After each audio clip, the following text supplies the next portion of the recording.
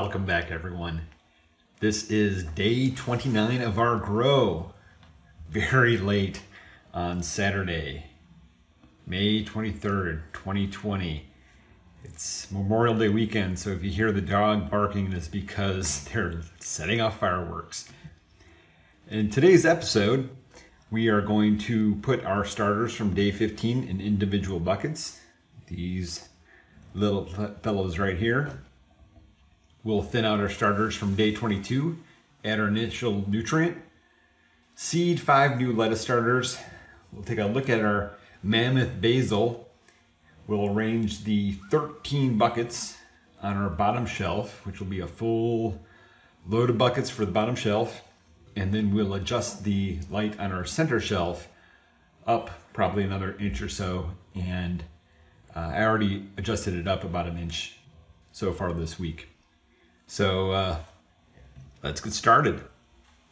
So before we dive into all that, I wanted to cover a couple different things. So this is a lettuce that I'm growing on my other racks, just doing some experiments with uh, some other things. And I don't know if you can see, in there there's some it's called inner tip burn and I'm going to put a link in the show notes for a really good video that discusses this but uh, my lights are on for 14 hours a day and sometimes if you some people will grow 18 hours a day um, I don't like doing that and this is one of the reasons um, inner tip burn could be one of the side effects of that and this could also be a symptom of the light height as well. So I just wanted to show that to you. I'm going to put a link in the show notes so you can check that out.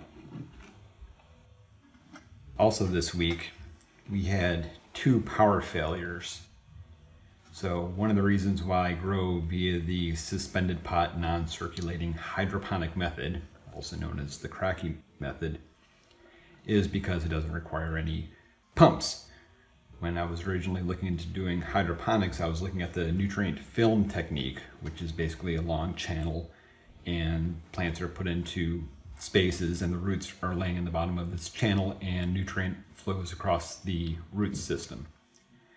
Problem is, is if your pump breaks or if you have a power failure, that doesn't work anymore and the plants quickly wilt and I don't know how long that takes for them to die off, but I didn't want to have to purchase another system to have as a backup in case that happens. We lose power more than I like. So just wanted to share that with you. So if you do decide to grow via some hydroponic method, that's just something else you can keep in the back of your mind. If it's not a big issue for you in your area, or if you have your own power backup systems and you don't mind spending the extra money on extra equipment and the extra electricity, by all means, grow whichever way suits you best. And these are the starters from day 15, all in full nutrient, ready to go on the shelf. These are the starters from day 22. They're looking good, getting really good germination rates, obviously. So I'll need a few minutes and get these thinned out and put the initial nutrient and adjust the pH down. We have all the day 22 starters thinned out. Initial nutrient is put in and the pH has been lowered to the low sixes, so that's great. And I figure I'd bring these out this is our lettuce mix from day eight. So looking at these, I think these are the prize. Look at that nice red color. I don't think these are the Lollo Rossas. The Lollo Rossas would have a lot more red to it. And these are the Grand Rapids leaf. So I think we have some Grand Rapids leaf and some prize there. That looks like a straight prize, and that looks like a Grand Rapids. Looking good, really excited. And then this is one of the romaines from day one. So it's coming along nicely. And uh, I'll show you the, the root structure there. that. Hopefully you can see that. But yeah, nice white root structure. And these are the starters for today, day 29. Have all the seeds loaded up. At least I hope I do. Huh.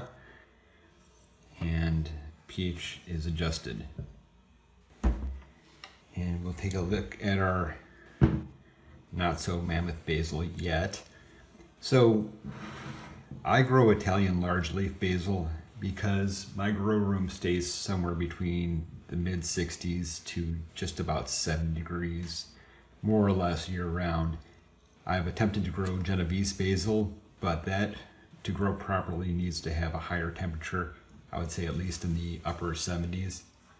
I don't know what a ideal room temperature is for mammoth basil. So we will see if this grows to be mammoth or not. So just wanted to bring that out and show it to you. But uh, eh, I think it's doing all right. This is the setup for the bottom shelf when we have a full load of buckets. So 13 buckets, five through the middle. I have the side buckets are six spaces from the side, two spaces in between each of these, and then the ones along the outer rows there, just slide there right in between. And I found that with one Happy Leaf Procyon Series light, this is about as much as you can get under one light and still have a productive grow. And this is what it looks like where the light would fall, obviously 10 inches higher. But the light comes out at essentially a big oval pattern, or I should say the par energy disperses in a big oval pattern with the weakest light being over here in these corners and at the edges. And it is with this setup that I'm able to save the most money on electricity because I have the starters on the bottom shelf for a full four weeks. So that is a lot of lettuce growing under one 48 watt nominal grow light. Here's the middle shelf. I've adjusted the light up just a little bit more.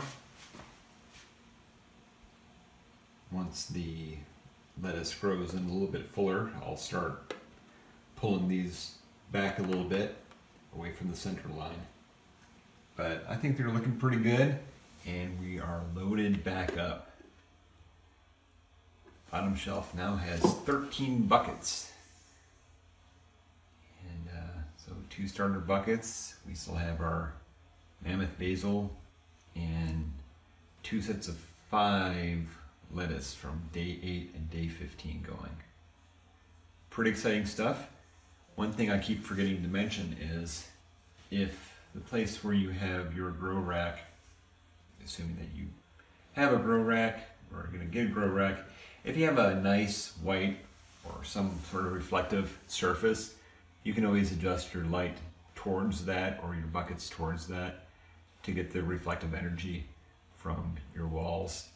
I set it up this way just to assume that you didn't and you would want to center everything on the shelf. So something to keep in mind, something you can experiment with on your own time. But yeah, things are coming along rather well. I'm still super excited. I'm very glad you have all come along for the journey. And I'll catch you next time.